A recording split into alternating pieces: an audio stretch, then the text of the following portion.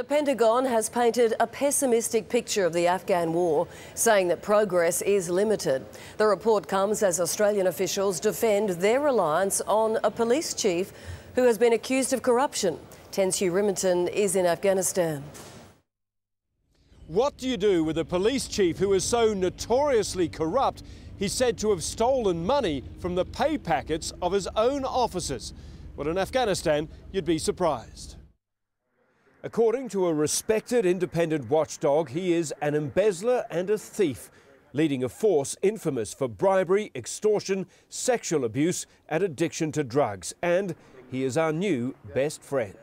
Everyone has a past in Uruzgan, um, and that's a product of the society having been in conflict for several decades. Brigadier General Juma Gul is now a central player in our hopes for Uruzgan province, and he says he is not a crook.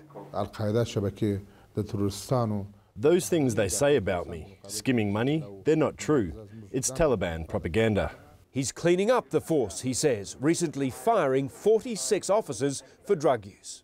The police are absolutely critical in holding ground, creating an atmosphere of law and order where the troops have gone through and seen the insurgents off. For all his colourful past, the Australians believe Juma Gul is now on the programme.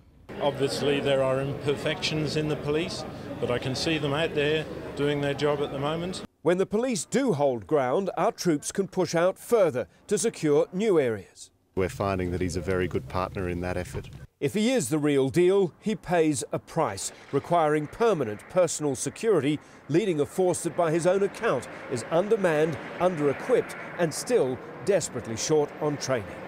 In Afghanistan, Hugh Riminton, 10 News.